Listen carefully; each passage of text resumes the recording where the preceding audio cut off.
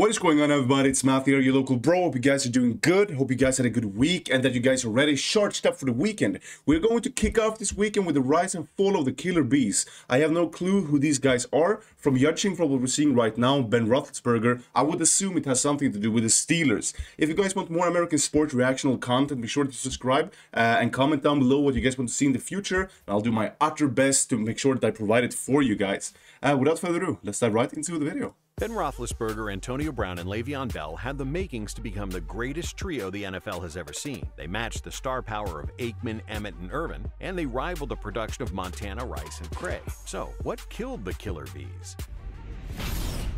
Bringing the Bees together. Prior to Ben Roethlisberger arriving in Pittsburgh, the Steelers were at a crossroad at the quarterback position. They shuffled between three different passers for five years before Big Ben and failed oh. to sustain success with any of them. But when Roethlisberger took over in 04, to say he took the league by storm is an understatement. As a rookie, he led the Steelers to a 15-1 record, and wow. in his first five years, he won two Super Bowls. While Ben's success was immediate and he gave the Steel City some much-needed consistency at quarterback, it was the Steelers' elite defense that carried the load early in Roethlisberger's tenure. They Big had a guys. top five defense for seven of his first eight seasons. But at the turn of the decade, their defensive stars were getting old, and the Steelers needed change. And that mm. change came in the most unlikely of forms. I'm talking in the form of a sixth round pick in the 2010 draft. No what? one knew it at the time, but the 195th pick out of Central Michigan was about to change their organization forever. Welcome okay. to Pittsburgh, Antonio Brown. Okay, so that's where it came from, bro. I thought it was a first round pick. That's going to be interesting. To say Antonio Brown got off to as fast a start as Roethlisberger, that would be a lie. But it didn't take long. While he didn't catch many passes his rookie year, he was an instant impact on special teams. He even returned a kickoff for a touchdown in his NFL debut. In 2011,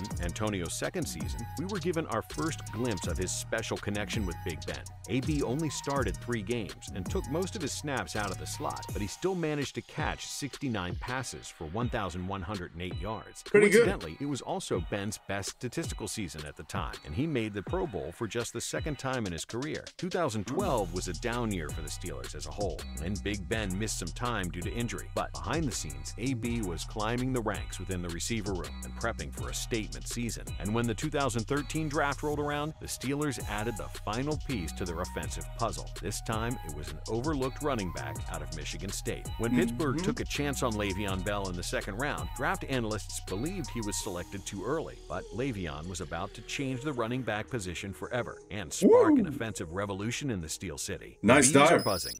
2013 started the most dominant five-year stretch from a... Okay, so they were Antonio Brown and they were this uh, running back, something Le'Veon Bell, and it was Ben Roethlisberger. Okay, let's go. The bees are buzzing.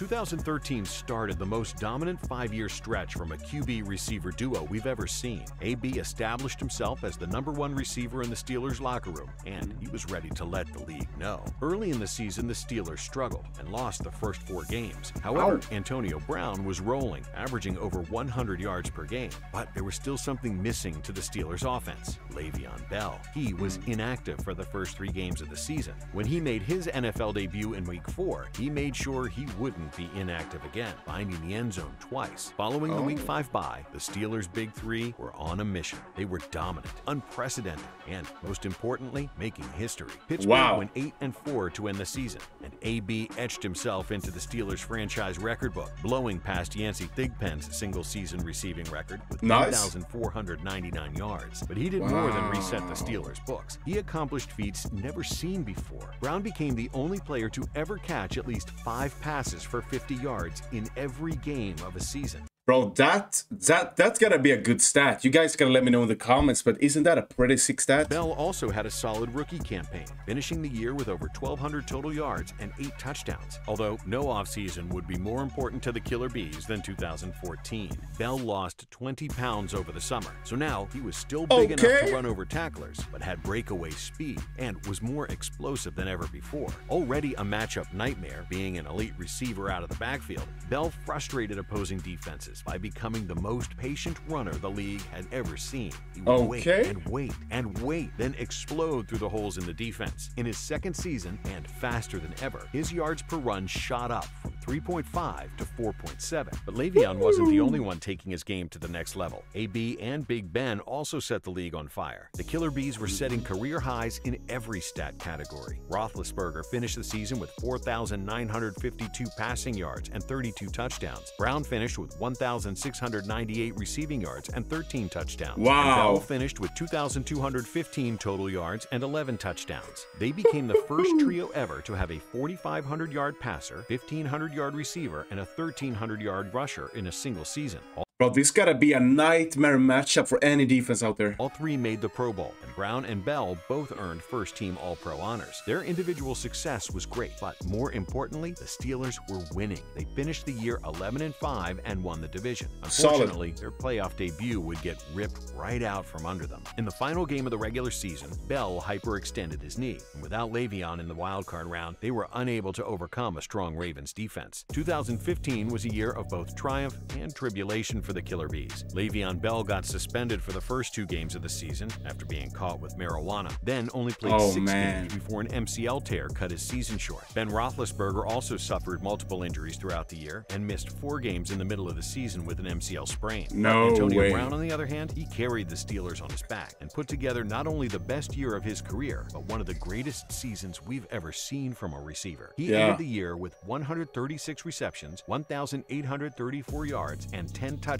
as he led Pittsburgh to a 10 6 record and another playoff berth. He Amazing. was named to the Pro Bowl and first All Pro team for a second year in a row. However, this playoff run is where everything would take a turn. Mm-hmm. Pittsburgh would travel to Cincinnati in the wild card round for a division rivalry game. The Steelers dominated the game, leading 15 0 in the fourth quarter. That is, until Vontaze Burfict left his impression on the game. He sacked Oh, no. Big Ben with a hit that separated his shoulder and knocked him out of the game. This rallied the Bengals to a comeback where they scored 16 unanswered points. Ben returned to lead the Steelers on a game-winning drive, but Burfict wouldn't give up that easily. Late in the game, Burfict smashed into Oh no, that's the tackle that killed Brown. defenseless AB. The hit on Brown laid him out, limp Dude. and motionless on the ground. The Steelers did go on to win the game, but they lost everything. Without AB or Le'Veon Bell, they were no match for the Denver Broncos the next week, and Ben Roethlisberger was playing injured. Coincidentally, Burfict was also the player who laid a dirty hit on Bell that ended his season earlier in the year. He single-handedly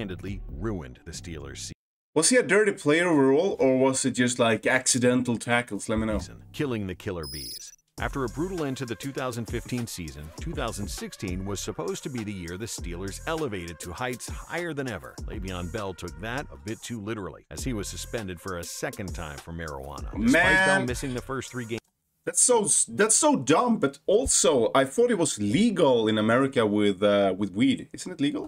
Or is it like just depending on what state you live in? season, and AB suspended for a second time for marijuana. Despite Bell missing the first three games of the season and AB twerking his way into some controversy, it was yet another dominant year for Pittsburgh and the Killer Bees. All three players made the Pro Bowl, AB landed on the first All Pro team for the third year straight, and the Steelers won the division. But better than that, all the Killer Bees were healthy for the playoffs for the first time. And Nice. on the biggest stage, they showed out. In the wild card round, they smashed the Dolphins 30 to 12, with Bell and Brown combining for almost 300 yards and four touchdowns. Wow. They then traveled to Arrowhead to take on the Chiefs in the divisional round. Once again, both AB and Bell broke 100 yards to pull off the road game upset, but the sweet taste of victory soured quickly thanks to a Facebook Live video. Antonio Brown thought it would be a good idea to give the world a No. sneak peek of the Steelers celebration. The problem was, he showed Steelers head coach Mike Tomlin talking smack about their AFC Championship game opponent, the Patriots. That viral video fired up the Pats defense to be merciless. And when game day came around, they No. suffocated the Killer Bees and blew out Pittsburgh. Oh, What's the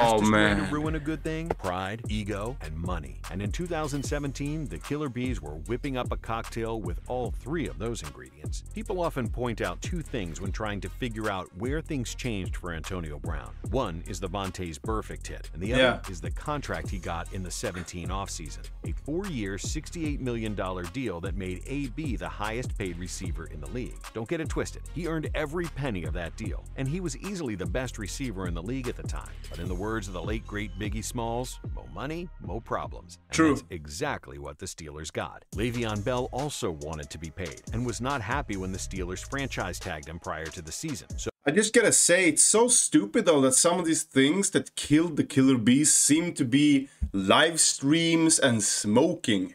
uh, like like dumb stuff like this. But I guess like in many cases, when, when you know with the big bucks, as I said, more money, more problems, and just ridiculous, stupid things. So he skipped training camp and the preseason because of it. Once he reported to the team for the first Why? game of the year, it was back to business as usual for the Killer Bees. Dominance to the tune of a 13 and 3 record on the season. But the cracks in the steel armor were starting to show. AB started throwing tantrums on the sideline, and Big Ben Bro. publicly threw him under the bus on radio shows. They were the most dynamic duo in the NFL, but they also hated each other. The trio Why? once again made the Pro Bowl in 2017. Brown and Bell were again both named to first All Pro team. Pittsburgh had a first round bye in the playoffs, and when the Jags came to Heinz Field for the divisional round, no one gave them much of a chance. Everyone was ready for the rematch between the Steelers and the Patriots. That is, until midway through the second quarter, and the Steelers were down 28 7. Big Oh. Ben put together arguably the 28 to 7. greatest game of his career with 469 yards and five touchdowns against the strong Jacksonville defense. But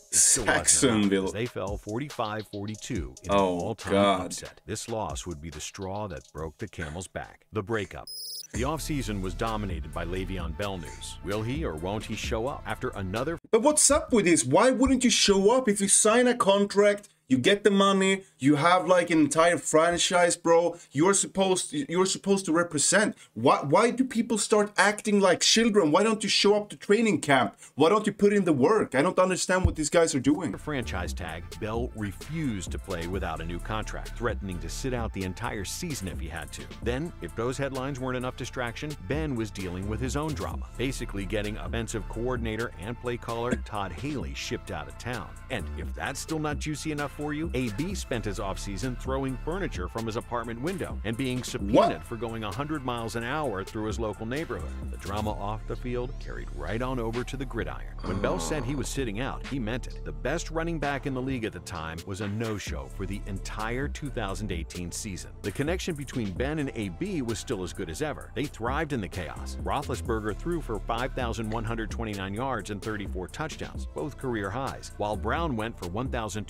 1,297 receiving yards and 15 touchdowns, which was a career high for him. But behind the scenes, everything was going to shit. Reports came out that Ben and Brown constantly fought at practice and in team meetings. A former Steelers PR department employee tweeted that Big Ben made AB, and he wouldn't have near the same success on another team. So AB Let me know what you think about that. B lashed out with an iconic tweet. Trade me. Let's find out. Roethlisberger's frustration quickly boiled over, and it would take just one last mistake to truly destroy the Killer Bees. In a practice during the final week of the season, Ben and Brown got into what would be their final shouting match. Brown stormed off the practice field and refused to play another down for the Pittsburgh Steelers. The 2018 season came to an end, with Brown watching from the sideline in a Oh. raincoat. AB demanded a trade directly after the season. Meanwhile, Le'Veon Bell, after sitting out the entire year and giving up $8 million, was free to sign with whoever he wanted. The Bees were officially dead. Bro, I, I, I, I'm not a pro athlete and I'm not a multimillionaire, so maybe there's something else going on when you come up to that part, when you start earning much money.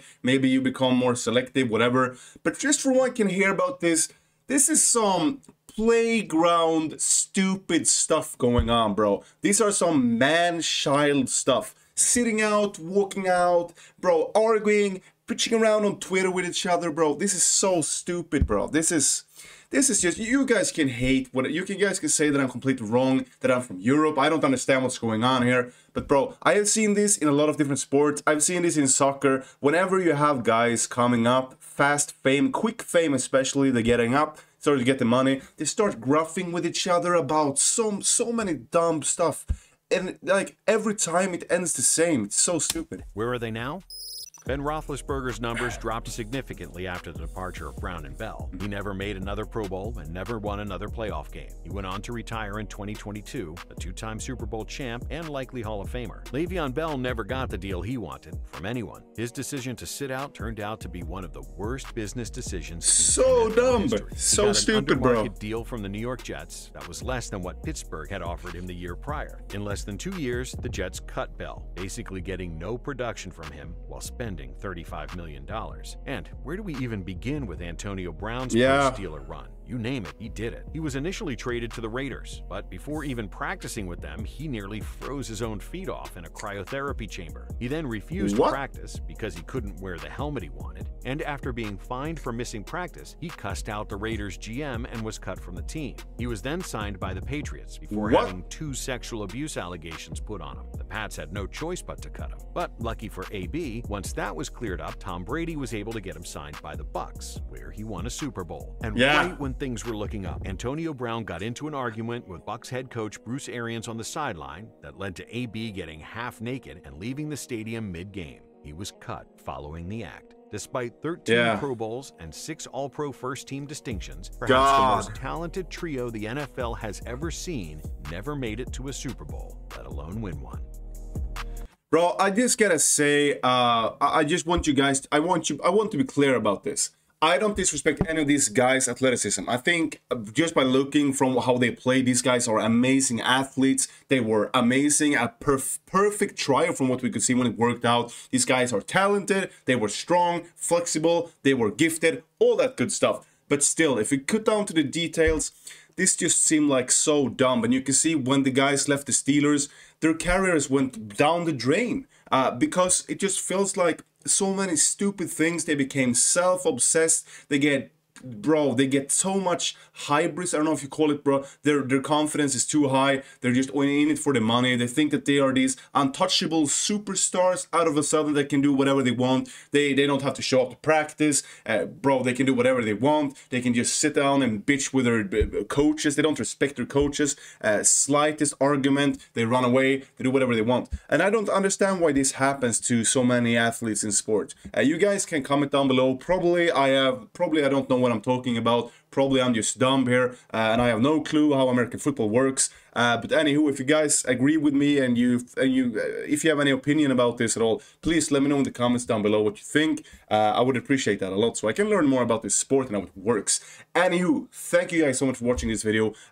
Leave a like if you enjoyed it. Subscribe to don't miss out on any more reactional content and i'll get and i will catch you guys around in the next one